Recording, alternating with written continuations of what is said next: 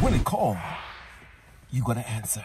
Yes, when death call, you got to answer. My friend, whether you're rich, whether you're poor, whether you're healthy or you're sick, my friend, when it's time for you to go, it's time for you to go. Unless, hey, glory to God, it's not your time. The Bible says, my friend, it's appointed man wants to die than the judgment. I'm saying this to say this to you, my friend. Nobody know the time or the hour when death comes. I see death come when you're young. I see death come when you're healthy. I see death come when you're sick. I see death come, glory to God, we just do going about your own business.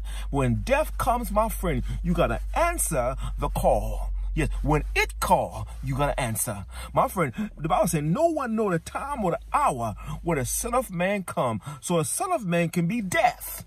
Hey, glory to God. My friend, we live in the world that we gotta be ready at all times. That means why play around with your soul salvation and die in your sin? Why say why play around, my friend, in sin? Why play around with sex? Why play around with secularism? Why play around with Satan, my friend, and end up dying without him. You may have all the things in the world, all the money in the world, but my friend, I'd rather be poor on my way to heaven than be rich on my way to hell, then get judged and cast into the lake of fire. What I'm saying to you, my friend, when it call, you gotta answer. It's appointed man wants to die, then a judgment. There's a judgment coming, my friend. What I say, there is a judgment coming.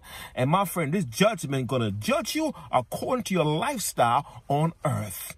I say this judgment is according to your lifestyle on earth. If you live a regular lifestyle, my friend, you got to answer for it.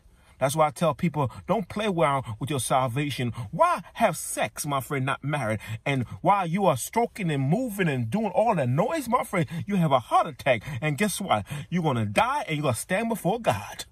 Hey, what I'm saying, why drink yourself to death? Why smoke yourself to death? Why sex yourself to death, my friend? Because one day, my friend, we all going to die. And it's good to be ready. Ready or not, death coming.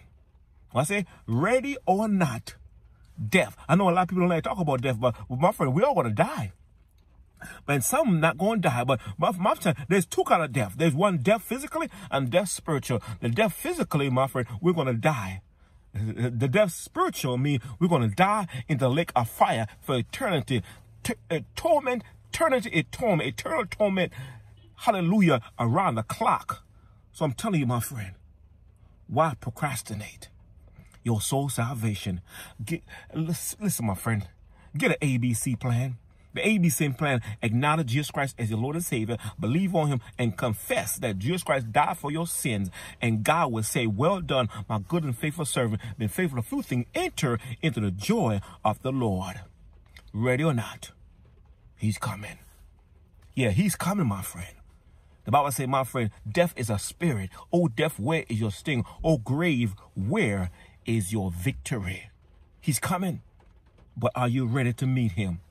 Are you, if you die today, where would you spend eternity? If you took your last breath and die, where are you going to open your eyes? In heaven or in hell?